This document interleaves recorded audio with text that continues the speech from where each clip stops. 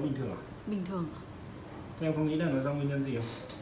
em cũng không biết Một cái tình trạng mụn nặng như thế này mà lại không biết là do nguyên nhân gì à? Tự dưng không có nghĩa là như này đợt trước là da em nhẵn sau rồi bị Ừ. em bị hắc lào à, hắc lào sau lúc em cứ chữa đi chữa lại nó lại bị nào ở đâu? ở ở trên má đấy ạ Ai chẩn đoán cho em là em bị tháng nào? không em tự mua thuốc thôi tại vì nó có nốt tròn xoe. Thế thì em sai rồi em, À. không đúng rồi Tháng nào em chữa cái thuốc gì? em ra hiệu thuốc em mua. Là thuốc gì? thuốc tây người ta cho thuốc uống với thuốc bôi ạ Bôi là cái gì?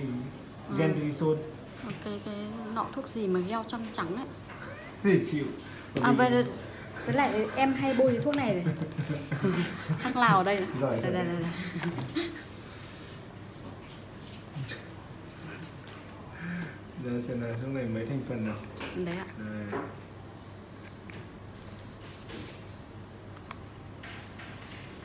Thuốc 3 thành 4 thành phần. Anh đến chịu em này. Em dùng cái này là em bị mụn là đúng rồi em ạ. Bởi vì cái này nó có chứa corticoid à Ờ, Đây là đấy em cũng là- bôi nhiều cái này sau nó Vâng. bị mụn còn đợt trước là em thêm không? nhiều vào cho nó không lên nhiều mụn nữa đi. Chẩn đoán thì sai, điều trị cũng sai. Em có phải bác sĩ đâu mà em chẩn đoán giỏi thế? Không ạ em ra hiệu thuốc bác, ờ, Bác gì? cái người bán thuốc cho em á. Người người ta đấy là bảo bác sĩ à? không người ta bảo bị hắc lào. À, thế người người ta bán thuốc. có khi còn kém cả em đấy em ạ nhá Là em không anh đến chịu em này. Em sai bởi vì là em sử dụng thuốc sai mà. Đây là Vâng. chứng cáo do thuốc em nhé. À, cái này nó không phải chỉ xuất hiện ở mặt đâu có thể là xuất hiện ở lưng của em ngực của em nữa. Thì chứng cá này có thể nhá em nhé. Vâng. và bây giờ mình phải điều trị thôi nhé. Vâng.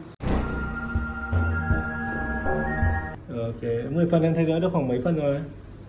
Ừ, tám mươi tám phần rồi anh 8 phần 9 phần rồi. Vâng. Em thấy hài lòng không quá hài lòng. Quá hài lòng cả anh nói như nào được đúng như thế nhỉ? Vâng. anh bảo khỏi 8 90 phần trăm là khỏi 8 90 phần trăm thì sau có khoảng độ hai ba tuần đúng không nhỉ? Vâng. Quá tuyệt vời. Thế ngày xưa em đi điều trị ở đâu mà để mặt nó xấu thế? Em dùng đâu em mua thuốc dùng thuốc xong rồi có corticoid à đúng rồi. Hồi xưa nó bị nặng nhất là vùng nào nhỉ? Má này viêm phế má này. viêm má này đúng không? Bây giờ nó ổn hết rồi ổn lắm em ạ bây giờ anh sẽ chỉnh đơn cho em nhé. Của em nó Vâng. còn một cái nữa là vấn đề về thâm với cả phục hồi da. Cái đấy như buổi trước anh nói ấy, thì mình có thể dùng công nghệ phục hồi da để làm nó em ạ. Nhé còn cơ bản vẫn là xử lý nhân với cả làm sạch. Nhé